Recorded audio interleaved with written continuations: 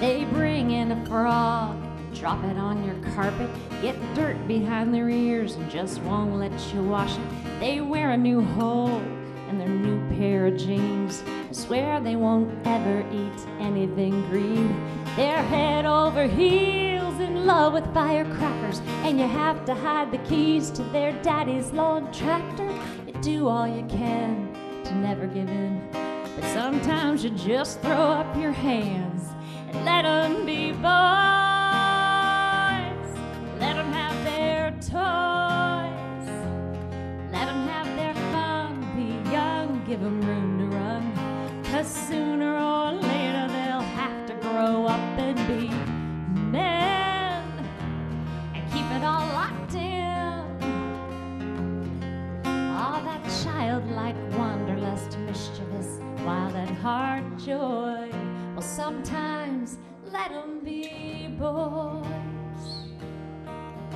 Their daddies all buy new boats to go fishing in the garage. There's old cars they're fixing. They love dressing up in their green camouflage, cutting up with their buddies at the deer hunting lodge. They drive through the mud just to drive through the mud. Then come home, grab a hose, and wash off the crud on your clean driveway. You should be mad, but they're such good husbands and dads. You let 'em be boys, let 'em have their toys, let 'em have their fun. Be young, give 'em room to run. Cause sooner or later they'll have to grow up and be men and keep it all locked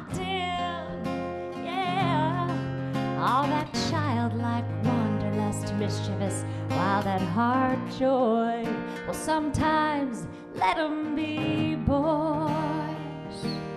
Whether they're four or forty, there's something inside that's too good to hide, too good to ever let die. So let 'em be boys.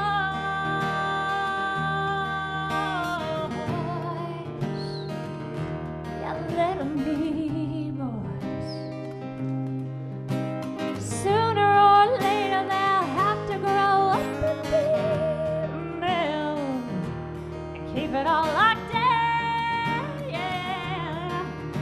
that childlike wanderlust, mischievous, wild at heart joy.